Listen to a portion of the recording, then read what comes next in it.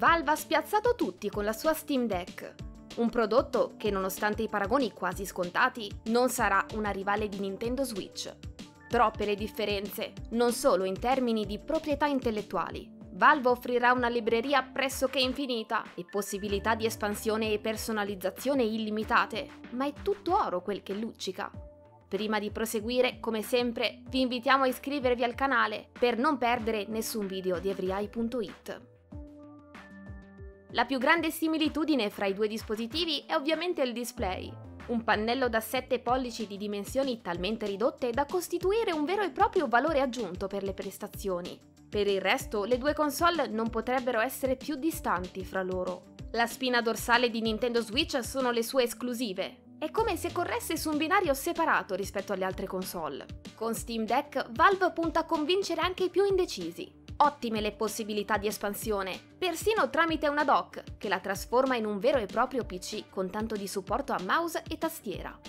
L'hardware di Steam Deck comprende una APU AMD Zen 2 a 4 core e 8 thread, grafica RDNA2 con 3.5 GHz di frequenza massima e 16 GB di memoria LPDDR5, per un totale di 1.6 teraflop di capacità computazionale su un display a 720p. Naturalmente ci sarà anche spazio per il ray tracing e sarà molto interessante vederlo in azione su un dispositivo di queste dimensioni. Valve ha dichiarato che i 30 fps sono solo una base di partenza, perché con tecnologie come Super Resolution di AMD si potrà ambire anche ai 60 frame al secondo. Con questa tecnica si possono raggiungere boost incredibili. Applicando i preset più aggressivi è possibile quasi triplicare il frame rate, mentre chi preferisce un'esperienza di maggiore qualità troverà un valido alleato nella modalità Ultra Quality, che permette di aumentare gli FPS anche del 30%. Steam Deck ha grandi potenzialità, ma la più grande incognita rimane SteamOS. Il sistema operativo di Valve, basato su Linux, potrebbe rappresentare il vero limite di questo dispositivo. Se l'hardware è tagliato su misura per lo schermo a disposizione, i titoli presenti in libreria potrebbero non sempre essere ottimizzati a dovere, perché SteamOS è basato su Linux e come tale gran parte dei titoli girerà attraverso Valve Proton, un sistema che permette di eseguire su Linux giochi scritti per Windows.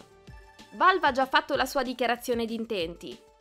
L'obiettivo è quello di raggiungere la piena compatibilità dei titoli disponibili sulla piattaforma, ma è proprio qui che nasce l'altra enorme differenza con Switch. La proposta di Nintendo, infatti, basa la propria solidità strutturale sul sistema chiuso di cui fa parte, con un sistema operativo proprietario e titoli generalmente ottimizzati a puntino per lei. Steam Deck invece farà affidamento alla più vasta libreria di titoli esistente e sarà un'impresa titanica ottimizzarli a dovere per questa macchina.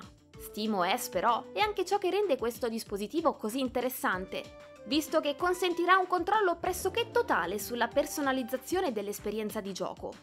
Dalla mappatura dei tasti alle preferenze in game, non c'è dubbio che questa soluzione premierà l'azienda rispetto all'approccio più classico delle console. Steam Deck è un PC e come tale permette una grande libertà di scelta, ma la sua longevità è legata a doppio filo alle ottimizzazioni che l'industria videoludica sarà in grado di regalarle.